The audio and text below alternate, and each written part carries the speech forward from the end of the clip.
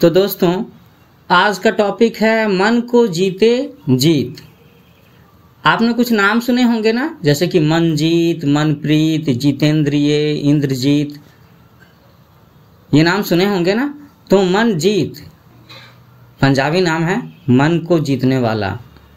मन प्रीत, मन से प्रीति रखने वाला। जीतेंद्रिय, जिसने इंद्रियों को जीत रखा है। इंद्रजीत का मतलब भी ऐसा ही होता है। तो नामों के बारे में कुछ और बात बाद में करेंगे। आज तो बात करते हैं, मन को जीते जीत। गुरु नानक के पास एक भूखा ब्राह्मण आया और बोला, मैं तीन दिन से भूखा हूँ। अगर मुझे थोड़ा आटा, दाल, चावल मिल जाए तो आपको बहुत पुण्य मिलेगा। गुरु नानक ने उस ब्राह्मण से लंगर में बैठकर भोजन करने के लिए कहा, लेकिन वह ब्राह्मण इसके लिए तैयार न हुआ। उसने कहा कि मैं किसी का छुआ नहीं खाता। अपना खाना मैं अपने आप पकाऊँगा। अपने हाथों से चूल्हा बनाऊँगा। लकड़ियाँ धोकर जलाऊँगा। चावल दाल बीन कर साफ़ करूँगा ताकि मेरे हाथों कोई कीड़ा न मर जाए। तब खाना पकेगा। और लोगों के पकाए भोजन में, भला इतनी शुद्धता कहाँ? तो गुरु नानक ने कहा कि ठीक है तुम पहले यहाँ मिट्टी खोद कर चूल्हा बनाओ। अगर उसमें कोई कीड़ा मकोड़ा ना निकला तो मैं तुम्हें दाल चावल आदि दे दूँगा। ब्राह्मण ने एक जगह मिट्टी खोदी तो वहाँ कुछ चीटियाँ निकल आईं। दूसरी जगह खोदा तो वहाँ दीमक निकल आया। फिर तो उसने जहाँ जहाँ मिट्टी खोदी वहाँ वहाँ कोई न कीड़ा निकल आया।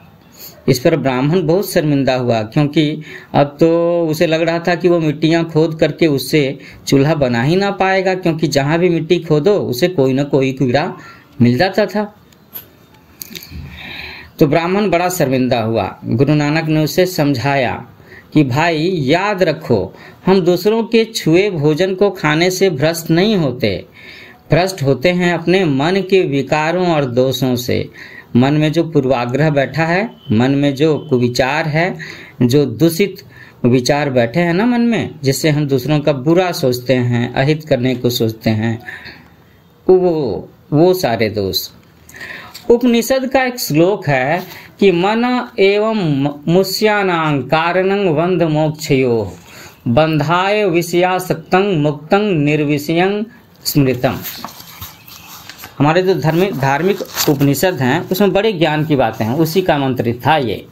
इसका मतलब होता है कि मन ही मनुष्य के बंधन और मोक्ष का कारण है। विषयासक्त मन बंधन है।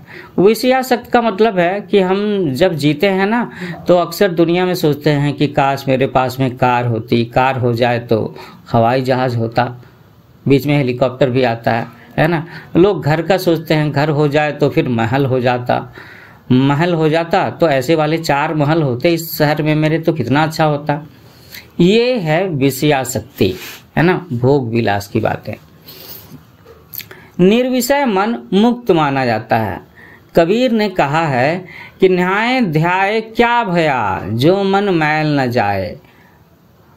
कहते हैं, कबीर कि नहाए और धोए, उससे क्या हुआ?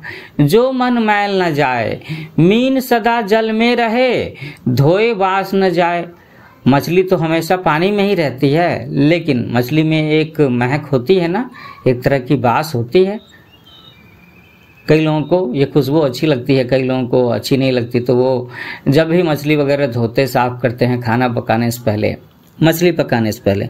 तो बार बार अपना हाथ डिटर्जेंट से, साबुन से, नींबू से साफ़ करेंगे।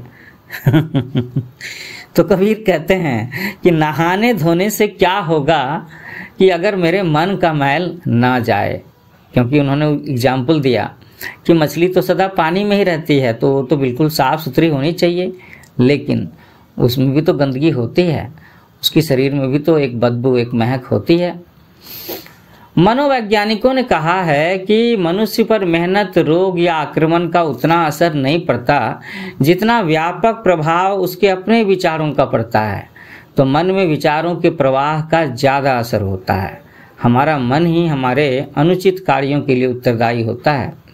मन पर काबू करना बहुत कठिन है लेकिन यदि प्रयास और अभ्यास किए जाएँ, प्रैक्टिस तो मन को कंट्रोल में रखा जा सकता है।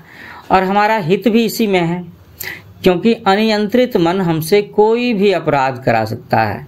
अक्सर देखा जाता है कि हम अपने पर संयम कंट्रोल नहीं रख पाते और तब कोई भी गलती कर बैठते हैं।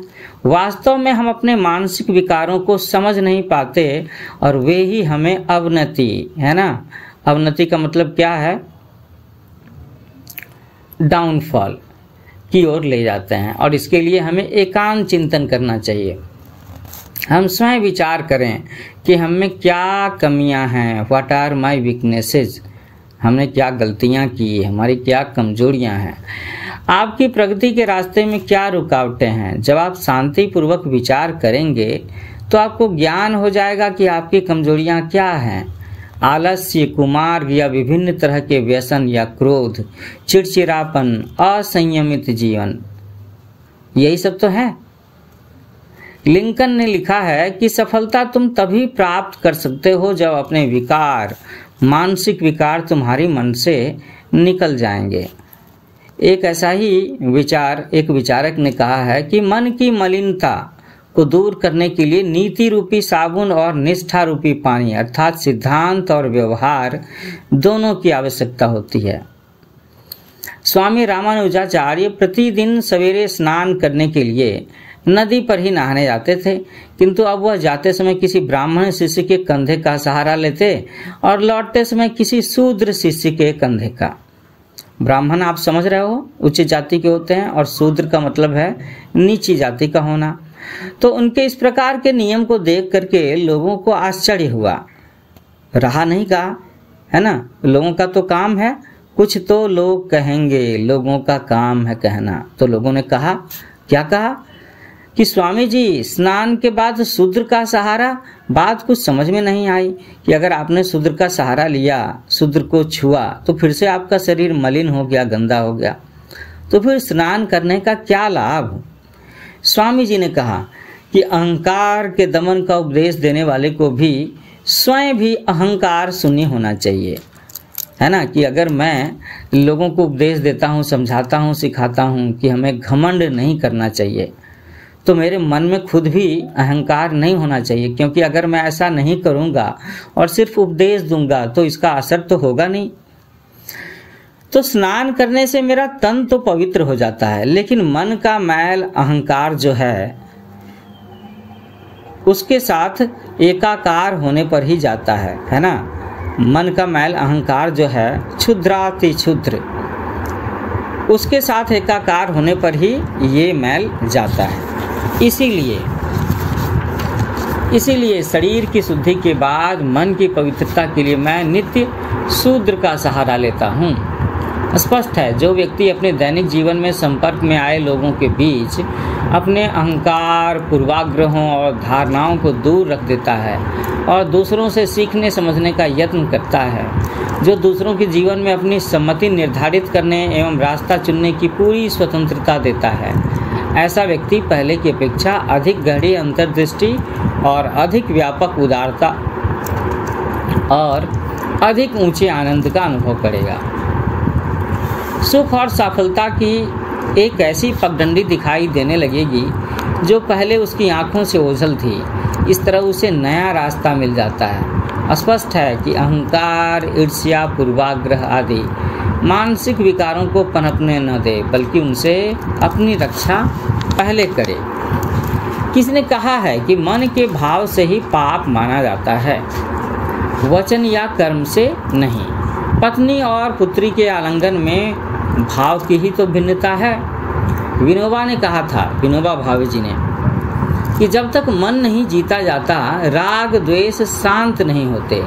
जब तक मनुष्य इंद्रियों का गुलाम बना रहता है। इसलिए सबसे पहले मन को नियंत्रित करने का अभ्यास करें। कारण ये है कि मनुष्य ही मनुष्य को भ्रमित करता है। उसके कामों में और लक्ष्य प्राप्ति में बाधक बनता है। रुकावटें डालता है। मन की गति बड़ी चंचल होती है, बड़ी चंचल। वह मनुष्य की प्रगति में, उसके महान बनने में रुकावटें डालता है। मन स्थिर नहीं रहता, इसलिए मनुष्य को विपरीत दिशा में मोड़ देता है। परिणाम यह होता है कि व्यक्ति अपने उद्देश्य से भटक जाता है। किसी ने कहा है कि मन बड़ा चंचल है। यदि काम ना हो तो इधर उधर भटकने लगता है और अपने स्वामी को विनाश मार्ग में फंसा करके मार डालता है। कहते हैं ना कि खाली मन शैतान का घर, खाली दिमाग शैतान का घर। इसीलिए तो कहते हैं तो उसे भक्ति की जंजीरों से जकड़ देना चाहिए। किसे? मन को।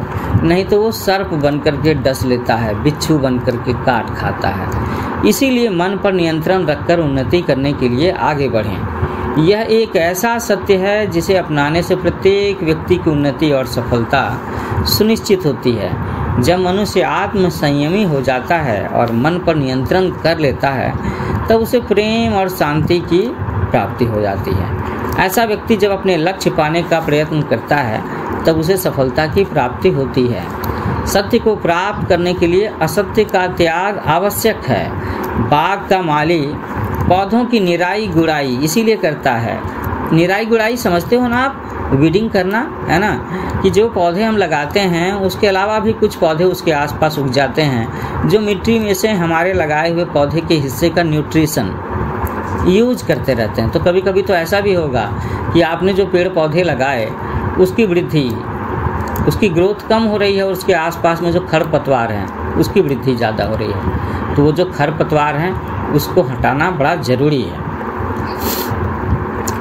तो ये अनावश्यक पौधे ना पनपें और उचित पौधे अपना पर्याप्त भरण पोषण ले सकें, इसलिए ये करना ज़रूरी है। इसी तरह हमें भी अपने मन के बगीचे की निराई कर विकारों को, है ना, ऐसे थॉट जो कि निगेटिव हैं, जो हमें नुकसान पहुंचाते हैं, उन विचारों को, उन विकारों को निकाल फेंकना चाहिए, तभी हमारी बुद्धि का पौधा समुचित विकास पा सकता है।